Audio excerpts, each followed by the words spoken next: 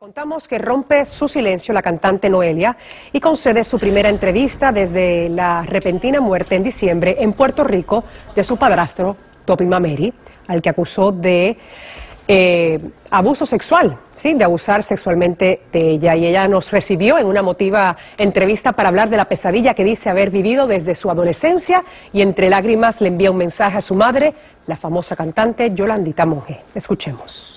Me da mucha lástima, mucha pena que, su historia haya terminado así, yo no haya podido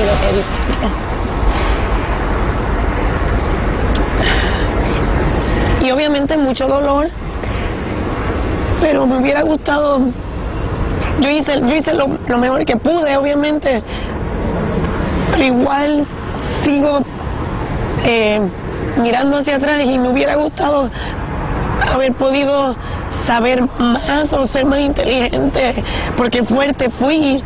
¿Alguna vez deseaste la muerte de Topi Mameri? La respuesta la ofrece mañana, así que no se pierda esta conmovedora entrevista de Noelia. Será, como dije, ya mañana.